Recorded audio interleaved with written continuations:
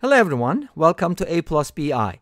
This channel is all about complex numbers and in this video we're going to raise a complex number to the 12th power. I'm also going to show you the result numerically. Okay, we have a number in standard form which is A plus BI, by the way that's the name of this channel, and we're raising it to the 12th power.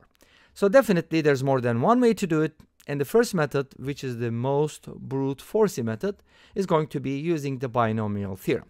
Now think about it for a minute. If you are raising a plus b to the 12th power, you're going to end up with something like 12 choose 0, a to the power 12, and then 12 choose 1, a to the 11 times b, and then 12 choose 2, a to the power 10, b squared, so on and so forth, until you hit to b to the power 12 at the end. And there's a symmetry, binomial coefficients, combinatorics, so on and so forth. So many other stories, right?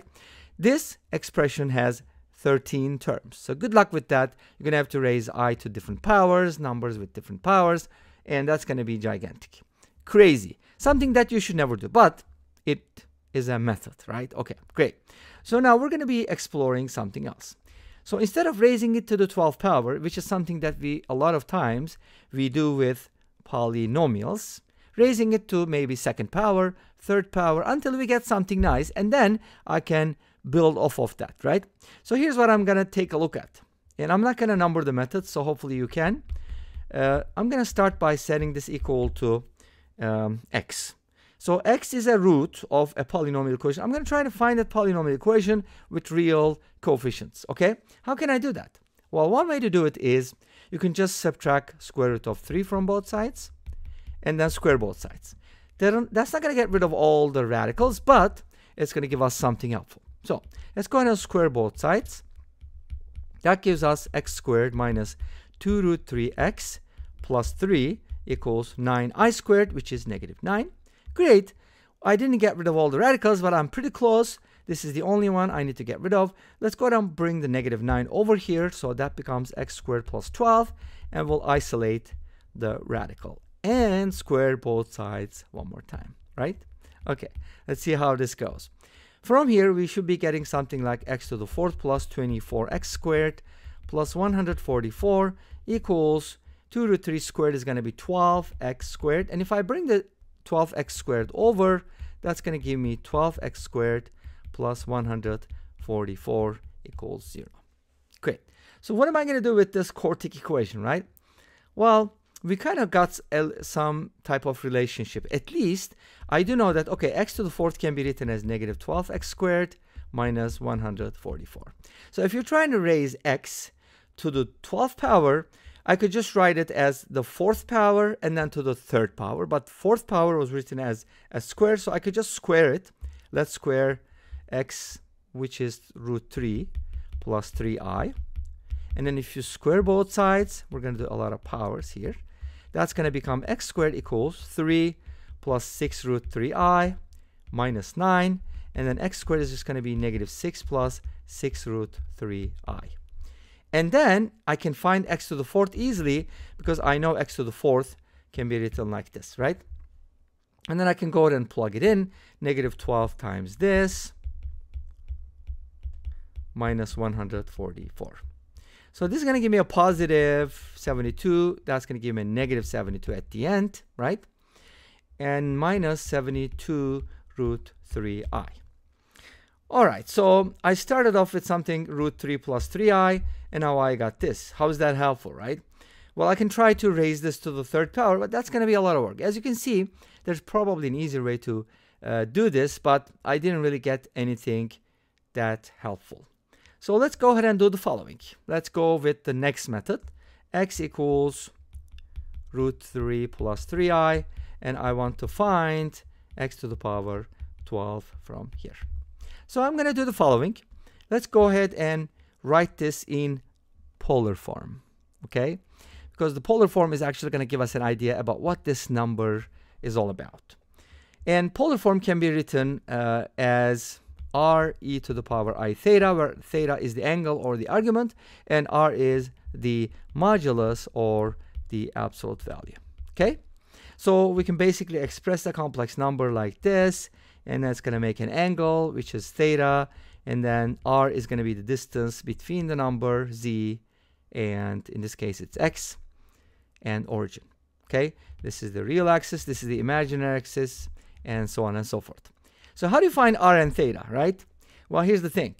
To find r we're going to use the absolute value of this number. Absolute value of x is going to be the absolute value of square root of 3 plus 3i so we're going to square root of square root of 3 squared which is 3 plus 9 that's going to be 2 root 3 so that's r and theta actually can be found by a couple different things. I can use for root 3 plus 3i, let's say this is x, I can kind of look at tangent theta.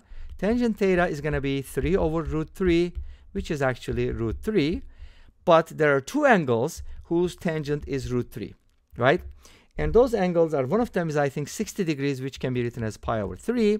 And the other one, remember, the uh, tangent is positive in the third quadrant then in this case you're supposed to add pi to it and that's going to give you 4 pi over 3. So there are two angles, but remember this is the third q, this is the first q, quadrant, right?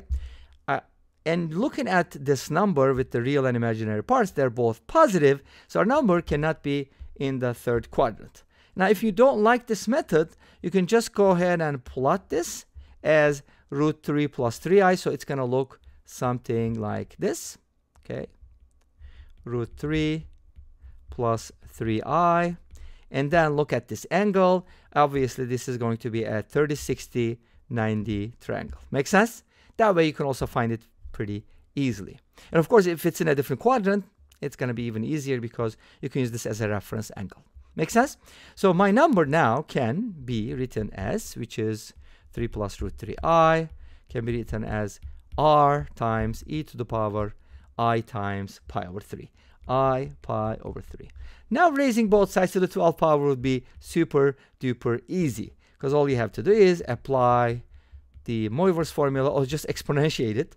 This is going to give you the following 2 root 3 to the 12th power times e to the power. So what do you do to the exponents? These exponents are multiplied and 3 goes into 12 four times, so it's going to be 4i pi.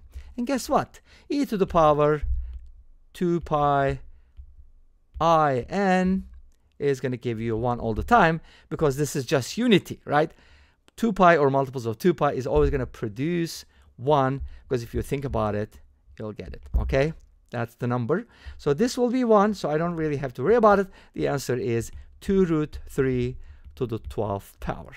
How do you find it? That's such a large number, right? Yes. But it would help if you just square this once and then raise it to the 6th power next. 2 to 3 squared is going to be 12. So the answer is going to be 12 to the 6th power. What is 12 to the 6th power?